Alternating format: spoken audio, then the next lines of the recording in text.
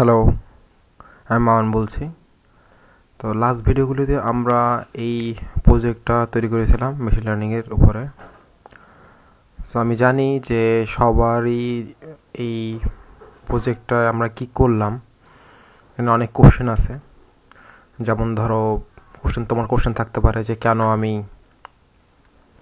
অ্যালগোরিদমটা use করলাম হ্যাঁ, কেন প্রিডিকশনটা কি কেন এইভাবে করতেছে? কেন হান্ড্রেড পার্সেন্টভাবে অ্যাকুরেট দিচ্ছে না? তারপরে আরও অনেক ধরনের কোশ্চেন থাকতে পারে, ঠিক আছে? ডাটা সেট নিয়ে কোশ্চেন থাকতে পারে লাইব্রেরি নিয়ে কোশ্চেন থাকতে পারে। সো আসলে এই কোশ্চেনগুলি তখনই ক্লিয়ার হবে যখন তোমার থিওরিটিক্যাল সম্বন্ধে একটু আইডিয়া থাকবে। তখন এই জিনিসগুলি তোমার কাছে আস্তে আস্তে ক্লিয়ার হবে। সেই কারণে আমার কাছে মনে হয় যে থিওরিটা জানাটা একটু দরকার আছে। সো আজকের এই ভিডিওতে আমি মেশিন লার্নিংয়ের কিছু একদম বেসিক ঠিক আছে, যেটা না হলেই নয়, ঠিক আছে, এই ধরনের কিছু বেসিক জিনিস নিয়ে কথা বলব। সো শুরু করা যাক। তো ডাটা দুই ধরনের হয়। একটা হলো গিয়ে লেভেল ডাটা আর একটা হলো গিয়ে আনলেভেল ডাটা সো তোমরা অনেক সময় এটা শুনতে পারবা যখন সামনের দিকে ক্লাস হবে বা তোমরা যদি অন্য কোনো ভিডিও দেখে থাকো, তো লেবেল ডাটা বলে, ঠিক আছে? সো লেবেল ডাটা বলতে কি বোঝায়? লেবেল ডাটা বলতে বোঝায় যেই ডাটার উপরে লেবেল করা আছে। যেমন ধরো আমাদের এই যে পজিটিভ যে ডাটাটা ছিল, এখানে দেখো লেবেল করা আছে। লেবেল বলতে এখানে কেজি, এটা হলো কেজি। কেজি উপরে কেজি লেখা আছে প্রাইস প্রাইসের উপর প্রাইসটা লেখা আছে। যেমন ধরো এটা একটা লেবেল ডাটা ডগ লেখা আছে, এখানে সব ডগের ডগের পিকচার এখানে ক্যাটস লেখা আছে, সব ক্যাটসের পিকচার সো এই কারণে এটা হলো লেবেল ডাটা ঠিক আছে? আর একটা হলো আনলেবেল ডাটা আনলেবেল ডাটা হলো যেটার উপরে কোনো লেবেল করা থাকবে না, ঠিক আছে? সেটা বলা হবে আনলেবেল ডাটা আচ্ছা আরেকটা হলো গিয়া, আরেকটা কমন ওয়ার্ড তোমরা শুনতে পারো সেটা হলো ফিচার সো ফিচার বলতে হলে গিয়া, যে তুমি চিন্তা করতে পারো যে কয়, কয়টা, কয় রকমের ডাটা আছে। সো আমরা যেই প্রজেক্টটা করছিলাম, সেখানে আমাদের ফিচার ছিল দুইটা। একটা হলো কেজি আরটা হলো প্রাইস মানে আমাদের দুই রকমের ডাটা ছিল, একটা হলো কেজিতে ডাটা ছিল আরটা হলে প্রাইসে ডাটা ছিল। সো আমার যদি আরও একটা কলম থাকতো এখানে, তাহলে বলতে পারো আমাদের আমি বলতাম যে আমার হলো গিয়া তিনটা ফিচার আছে। সো যেহেতু আমার দুইটা তোমার কলম ছিল, একটা হলো পটেটোর কেজি একটা হলো প্রাইস সো এই জন্য আমি বলব আমার ফিচার হলো দুইটা। সো আমাদের দুইটা জিনিস, একটা হলো লেভেল ডাটা আর হলো গিয়া আনলেভেল ডাটা আর একটা আরেকটা জিনিস হলো গিয়ে ফিচার ঠিক আছে? আমরা তিনটে জিনিস নিয়ে ক্লিয়ার হলাম, তো সামনে যাই। এরপরে তোমরা যখন কাজ করবা বা সামনের দিকে যখন যাব, তখন প্রায় কিছু জিনিস শুনতে পারবা, কিছু ওয়ার্ড হলো গিয়ে over fitting fit under fitting ঠিক আছে? সো ওভার ফিটিং বলতে কী বোঝায়? ওভার ফিটিং হলো গিয়া যে যদি তোমার যে মডেলটা তুমি ট্রেন করলা, ঠিক আছে? আমরা তো একটা ডাটা নিয়ে প্রথমে কী করতাম? একটা ট্রেনিংয়ে ভাগ করতাম, একটা হলো টেস্টিংয়ের জন্য ভাগ করতাম। সো ট্রেনিং যে ডাটাটা সেই ডাটাটার উপর যদি তোমার যে মডেলটা তুমি তৈরি করলে, সেটা যদি খুব ভালোভাবে অ্যাকুরেসি দেয়, খুব ভালোভাবে তোমার আউটপুট দেয়। কিন্তু তোমার যে টেস্টে টেস্ট করার সময় যে ডাটাতে টেস্ট করবে, সেই ডাটাটা যদি তোমার ঠিকভাবে আউটপুট না দেয়, তাহলে তুমি বলতে পারো যে তোমার এই মডেলটা ওভার ফিটিং ঠিক আছে? আবার আন্ডার ফিটিং হলে গিয়ে তোমার এই যে যে মডেলে তুমি বানাবা, সেই মডেলটা যদি তোমার ট্রেনিং ডাটা যেটা ছিল, সেটাতে যদি পুয়োর বা খুব খারাপ যদি তোমাকে ভ্যালু দেয়, আবার বা মানে খারাপ যদি প্রিডিক্ট করে, আবার তোমার যে টেস্টিং ডাটা সেটার ক্ষেত্রেও সেটা দিলেও যদি তোমার খারাপভাবে প্রিডিক্ট করে তাহলে তোমার বুঝতে হবে তোমার এই মডেলটা হলে গিয়া আন্ডার ফিটিং বা আন্ডার ফিটেড তোমার মডেল ঠিক আছে? আর একটা হলে কি ফিট বলতে হলে কি যদি তোমার ধরো একটা মডেল তুমি বানালা যেটা তোমার ট্রেনিং ডাটার জন্য ঠিকঠাকভাবে ধরো আউটপুট দিচ্ছে, আবার টেস্টিং ডাটার জন্য ঠিকঠাকভাবে আউটপুট দিচ্ছে। তাহলে তুমি বলতে পারো এইটা হলে কি ফিট আচ্ছা এখানে কিছু পিকচার দিছি। সো এইটা আপাতত যদি তুমি না বোঝো, সমস্যা নেই। তারপর আমি একটু বলে যাচ্ছি। সামনের দিকে আমরা যখন রিগ্রেশনাল থিওরি নিয়ে কথা বলব, তখন হয়তো এই জিনিসগুলো তোমার কাছে অনেক ইজি হয়ে যাবে।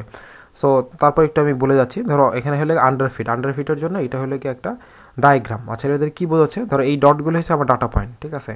আর এইটা হলো কি আমার যে মডেলটা আমার যে মেশিন লার্নিং মডেলটা সে প্রিডিক্ট করছে, সে এই একটা লাইন টানছে। সে মনে করছে যে এই লাইনটা যদি আমি টানি, ঠিক আছে, তাহলে এই লাইন বরাবর ইউরোর কম হবে, এই লাইন বা এই লাইন বরাবর সে প্রিডিক্ট করতে চাচ্ছে, ঠিক আছে? টাইমের অ্যাক্রসে সে ভ্যালুটা প্রিডিক্ট করতে যাচ্ছে কিন্তু দেখো ডাটাগুলি তো এই যে এইভাবে একটা কার বাকার আছে, ঠিক আছে ইউশেপ আকারে। কিন্তু আমার এই লাইনটা ডাললাম হলো গিয়া সোজা, ঠিক আছে? তাইলে কি এই লাইন বরাবর যদি আমি প্রিডিক্ট করতে চাই তাহলে কি সে পারফেক্টলি প্রিডিক্ট করতে পারবে?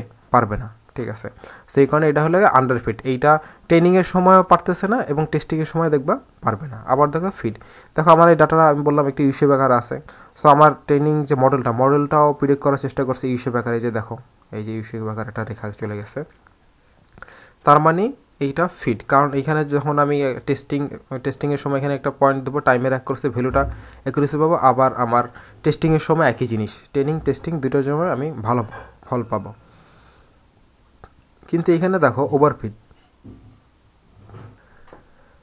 সো এইখানে দেখো হলো ওভারফিট তো ওভারফিটে একটা জিনিস খেয়াল করো, আমার যে ডাটা পয়েন্টগুলি আছে সেই ডাটা পয়েন্টের সাথে এই রেখাটা মিশে গেছে। তার মানে এই রেখাটা বলতে হলে কি, আমার যে মডেলটা মডেলটা এই রেখার মাধ্যমে প্রিডিক্ট করতে তার একটা জিনিস খেয়াল করো, এই রেখাটা প্রতিটা ডাটাকে সেট মানে টাচ করার ট্রাই করতেছে।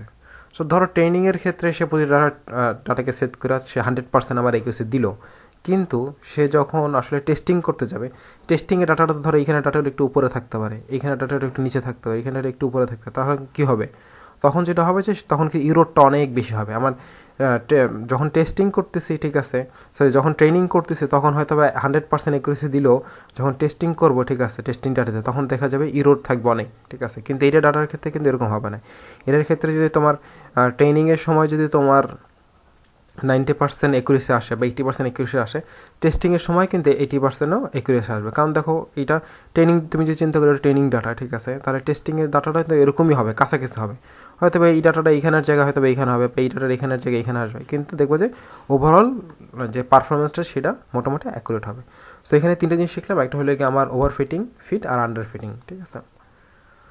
ওকে সো এখন আমরা আসি যে টাইপস অফ লার্নিং সো আমরা আসলে একদম এখন একদম মেশিন লার্নিং করে নিয়ে কিছু কথা বলবে। সেটা হলো যে, আমরা যেই লার্নিংয়ের মাধ্যমে আমরা তো তোমার যে মডেলটা সেই মডেলটা সামহাও লার্ন করছে। লার্ন করে সে প্রিডিক্ট করছে যে আমার পরোটা প্রাইসটা কত হবে।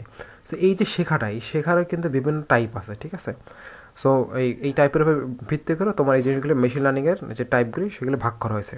সো বেসিক্যালি তোমার চারটা মেইন টাইপ আছে, সেটা একটা হলো supervise learning unsupervise learning, reinforcement learning আর আর সেমি সুপারভাইজ লার্নিং। আচ্ছা সুপারভাইজ লার্নিং কি? সুপারভাইজ লার্নিং হলো গিয়া আমরা যে কাজটা করলাম, আমরা যেই আলুর প্রাইসটা প্রিডিক্ট করলাম, এটা আসলে একটা সুপারভাইজ লার্নিং। কেন সুপারভাইজ লার্নিং?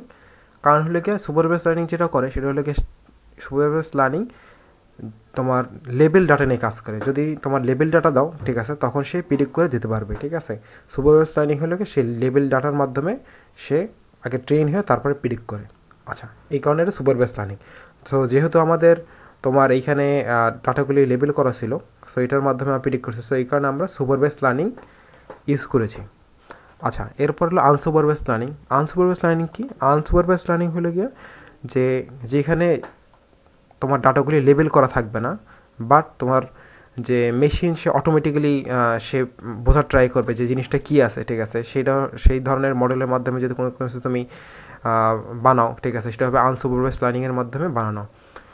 আর রিএনফোর্সমেন্ট লার্নিং মানে কি? রিএনফোর্সমেন্ট লার্নিং হলে গিয়ে ধরো, তুমি ভেবে চিন্তা করতে পারো, একদম সহজ এক্সাম্পল হিসেবে। ধরো একটা বাচ্চা যখন জন্মগ্রহণ করে, সে কিন্তু বোঝে না আগুনের মানে কি? আগুন কি গরম না ঠান্ডা? সে সব কিছুই ধরে ধরে দেখতে চায়, ঠিক আছে? সো যেখানে সে ধরো একটু সমস্যা ফিল করে, সেখানে কিন্তু সে সেকেন্ড টাইম ব্যাক করে না। সো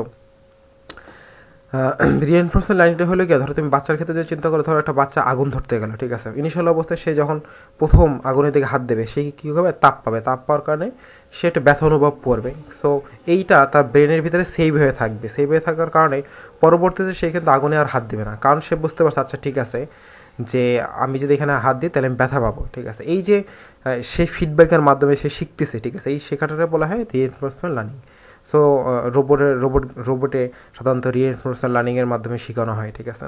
আর অনেক সেক্টর আছে যেখানে রিএনফোর্সমেন্ট লার্নিং ইউজ করা হয়। আর হলো semi supervised learning semi supervised learning হলে গিয়া, ধরো তোমার কিছু ডাটা লেবেল করা থাকবে আর অনেক ডাটাই দেখা যাবে যে লেবেল করা থাকবে না। তো এই ধরনের সিস্টেমে যদি তুমি কাজ করায়, সেটা বলে সেমি সুপারভাইজ লার্নিং সো আমাদের এই টোটাল কোর্সে আমরা বা টোটাল যে ভিডিওগুলো হবে, সেখানে আমরা মেনলি সুপারভাইজ লার্নিং নিয়ে কথা বলব বা সুপারভাইজ লার্নিংটা নিয়ে বেশি ফোকাস করব। সো এই সুপারভাইজ লার্নিং তো হলো একটা টাইপ ঠিক আছে? সো এই সুপারভাইজ লার্নিং বা এই সুপারভাইজ যে ডাটাগুলি লেবেল করা থাকে, এই লেবেল ডাটা নিয়ে যখন আমি কাজ করতে যাব, তো কিছু অ্যালগোরিদম আছে বা অনেকগুলি অ্যালগোরিদম আছে যেটা ইউজ করে আসলে আমি সুপারভাইজ লার্নিংয়ের মাধ্যমে আমি ডাটা আমার মডেলকে বা আমার যে সিস্টেমটাকে সেটা ইন্টেলিজেন্সে নিয়ে যেতে পারি। সো এই কিছু অ্যালগোরিদম আমি এখানে তুলে ধরেছি, যেটা হলো লিনিয়ার লিনিয়ার রিগ্রেশন যে অ্যালগোরিদমটা ইউজ করছি। Logistic regression K nearest K nearest neighbours naive Bayes তারপর support vector support vector machine decision tree random forest neural networks so এই আরও অনেক ধরনের তোমার সুপারভাইজ অ্যালগোরিদম আছে। সো আমি কয়েকটা এখানে তুলে ধরছি। মেন মেন যেটা বলতে পারো তুমি। সো এই সুপারভাইজ লার্নিংকে আবার দুইটা ভাগে ভাগ করা যেতে পারে। একটা হলো গিয়ে রিগ্রেশন আর একটা হলো ক্লাসিফিকেশন সো রিগ্রেশনের ক্লাসিফিকেশন কি? তাহলে সুপারভাইজ যে লার্নিং আছে, এই লার্নিংয়ের মাধ্যমে যে প্রবলেমগুলি সলভ করা যাবে, সেই প্রবলেমটাকে বেসিক্যালি দুই ভাগে করা যেতে পারে, ঠিক আছে? একটাকে বলব তুমি রিগ্রেশন আরটা হবে ক্লাসিফিকেশন এখন রিগ্রেশন কি? রিগ্রেশন হলে গিয়া সে একটা কন্টিনিউয়াস ডাটাকে প্রিডিক্ট করার ট্রাই করবে। যেমন ধরো আমরা পটেটোর প্রাইস যখন প্রিডিক্ট করছি, সেটা কি করছে? সে কিন্তু একটা অ্যাপ্রক্সিমেটলি একটা নাম্বার দিয়ে দিছে, ঠিক আছে? আবার ধরো আমি যদি এরকম একটা মডেল ক্রিয়েট করতে চাই, সে জাস্ট বলবে যে এটা কি ডগ ক্যাট বা কার, ঠিক আছে? এই ধরনের কোনো একটা ছবি দেখে সে যদি প্রিডিক্ট করতে চাই ঠিক আছে? ওই ক্ষেত্রে কি? ইয়েস নো একটা জিনিস থাকবে।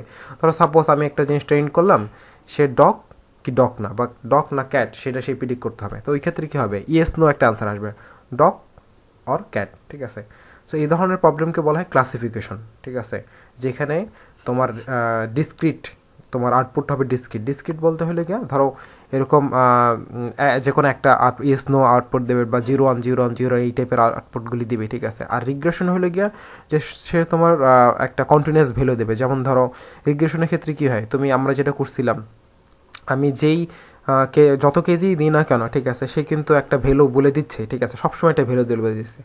সো এটা কি, একটা কন্টিনিউয়াস একটা সে ডাটা আমাকে দিচ্ছে বা পিরিক করে দিচ্ছে। এই এই ধরনের প্রবলেমগুলি বা যে যে ধরনের প্রবলেম এই ধরনের জিনিস নিয়ে ডিল করে বা এই ধরনের কন্টিনিউয়াস তোমার আউটপুট দরকার, সেগুলো রিগ্রেশন প্রবলেম হিসেবে তুমি বলতে পারো। আর ক্লাসিফিকেশন প্রবলেম হলে যেগুলিতে তুমি তোমার জাস্ট ক্লাসিফাই করতে হবে কোনো একটা জিনিস স্পেসিফিকভাবে যে কোনটা কি? ধরো এটা কি কার না কার না, এটা কি ট্রাক এটা কি ক্যাট এটা কি ডগ ঠিক আছে? এই ধরনের এটা ক্লাসিফাইড করা, ঠিক আছে? এই ধরনের ক্লাসিফিকেশন যে ধরনের প্রবলেম আছে, ঠিক আছে? এগুলিরে বলা হয় ক্লাসিফিকেশন প্রবলেম এটা একটা সুপারভাইজ লার্নিংয়ের যে প্রবলেমগুলি যে ক্লাসিফাই করার একটা সিস্টেম আর রিগ্রেশন হলে গিয়া সুপারভাইজ লার্নিং যে রিগ্রেশন টাইপের ঠিক আছে? বা কন্টিনিউসলি ডাটাগুলি টাইপের সেগুলি প্রিডিক্ট করার একটা সিস্টেম সো দুইটা হলো দুইটাই হলো সুপারভাইজ লার্নিংয়ের দুইটা তুমি পার্ট বলতে পারো বা দুইটা টাইপ বলতে পারো প্রবলেমের সো আমরা তো এই লাস্ট ভিডিওতে লাস্ট ভিডিওগুলোতে রিগ্রেশন প্রবলেম নিয়ে কাজ করছি, ঠিক আছে? সো আমরা নেক্সটে হয়তো বা ক্লাসিফিকেশন প্রবলেম নিয়ে কাজ করব, ঠিক আছে? সো তোমাদের জন্য যদি কোনো কোশ্চেন থাকে এই ভিডিও নিয়ে বা এই যতটুকু থিওরি বললাম, ঠিক আছে? তোমরা যদি ক্লিয়ার না থাকো, তোমরা নিচে কমেন্ট করতে পারো, আমি চেষ্টা করব তোমাদের কোশ্চেন আনসার দেওয়ার জন্য।